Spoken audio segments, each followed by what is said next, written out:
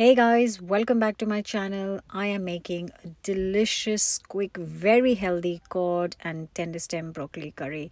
I've left dinner very late today and my mic stopped working, so I've had to do a voiceover for this. Um, so, uh, this is a really easy, uh, very simple curry, and you only need store cover in ingredients for this. Uh, so, that is very handy and it is super quick to make. And I'm going to be serving this with some toasted um, sourdough. Um, so let's get cooking. But before that, don't forget to subscribe to my channel, hit the bell button so you get a notification every time I share a new recipe. Okay, that's enough of the voiceover. Let me start cooking this delicious recipe.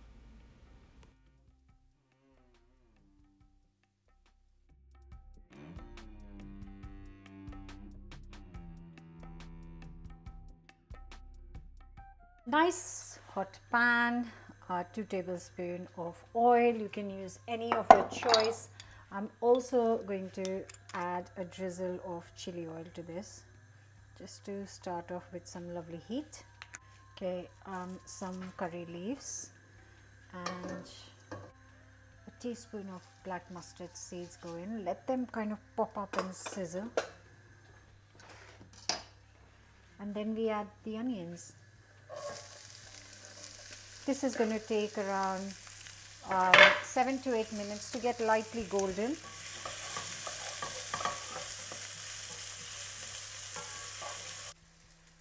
And while the onions are cooking, I'm going to prep, um, just going to grate a small piece of ginger and good 4 to 5, oops, garlic clove. It's been uh, 7-8 minutes. This is looking perfectly lovely.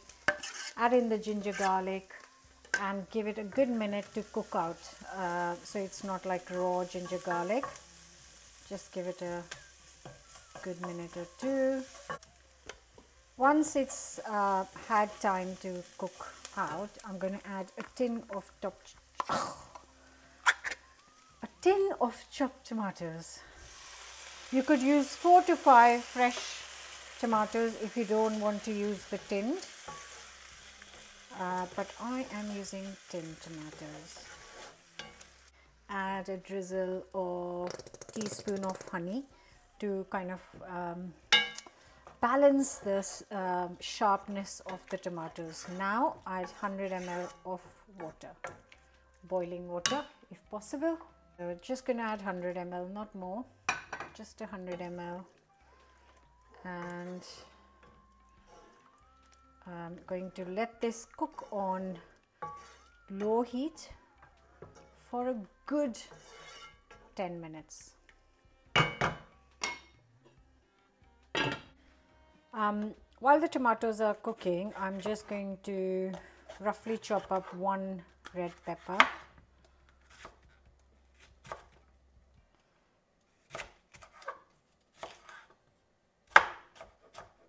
So it's been uh, 10 minutes. grab a cloth. Oh, lovely, absolutely gorgeous. Um, now I'm going to add the peppers. Just throw them on in. I want them to soften up slightly, not like mushy, but not like super crunchy. So I'm going to give it um, just five minutes.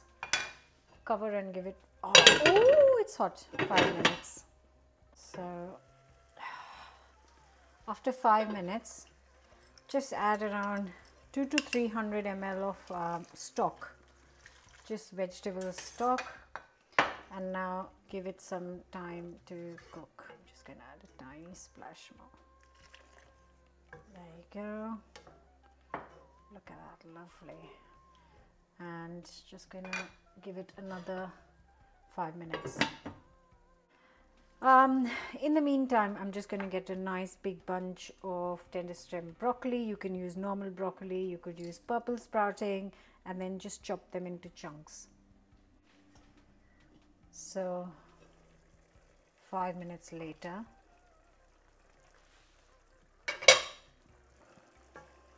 look how lovely this looks. The deep red color and now I'm gonna add some spices. So you can add salt to your taste. I'm having adding 3 fourths teaspoon of salt a bit of chili powder again to your taste. Um, and then um, and then I've got this um, curry powder. I'm going to add 2 teaspoons. You know I don't use this very often at all but I'm using it today because it goes really well with the fish. And once I've added the spices I'm gonna throw in all the greens. You can of course add just half the greens but our family loves greens um, especially the tender stem broccoli. So and I think I've got not enough liquid so I'm just going to add the rest 200 ml of stock. So that's a total of 500 ml stock. This doesn't take long to cook at all. So this only needs 5 minutes to cook the broccoli. 5 6 minutes but I'm going to cook uh, with the fish as well. So right now I'm just going to give it 5 minutes not more because I really don't want to overcook this. So cover and give it 5 minutes so it's been 5 minutes oh absolutely glorious um, as you can see the um, broccoli is not overcooked I'm going to get the fish ready now so I'm taking enough cod uh, for four people here. I have got the skin taken away as well. Once the cod is washed, uh, just pat it dry. Make sure that you have dried both the sides of the cod and then just slice it into small pieces. Uh, you can chop them into quite large pieces or small pieces. It's totally up to you. But whatever you do, make sure that they are all similar sized pieces so that they cook at the same time. So the curry has been bubbling away with the, um, you know, uh, the tender stem broccoli and peppers. And now I'm just going to place the, the fish uh, into the curry. Uh, I know it's quite piping hot, but somehow I can just about manage. But please be careful when you're cooking at home. Be careful of the hot curry. So place this in the pan and we don't need to cover this with a lid because it literally takes three to four minutes to cook and you'll be able to just see when the fish is ready but it just takes minutes. And make sure that you use a spoon and um, just cover all the fish with the sauce because uh, you want the fish to cook with that sauce so it gets that added uh, delicious flavor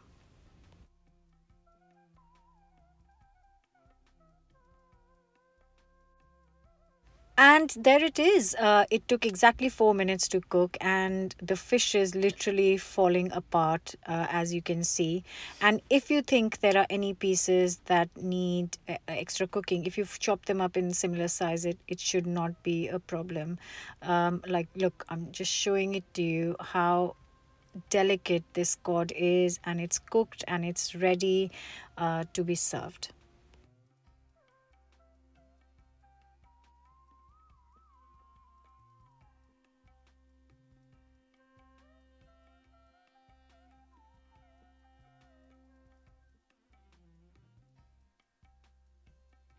And there it is. The fish curry is ready. You guys have been asking for a fish curry recipe for such a long time and I thought I will start with the simplest, easiest and the healthiest one.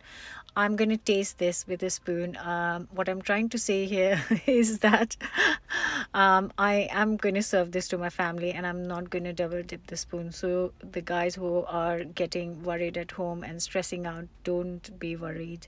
Uh, this is delicious. It's warming. Like I said, it's so simple to prepare and you have a meal ready in under 30 minutes. Absolutely delicious. Uh, all I'm trying to say is that I'm going to add another quarter teaspoon of salt because the rest is uh, fine just needs a tiny bit of salt but you can enjoy this with some rice like i said i'm going to serve this with some bread but i hope you do give this a go don't forget to subscribe and i'll see you back here with another new recipe very, very soon. Thanks, guys. Bye.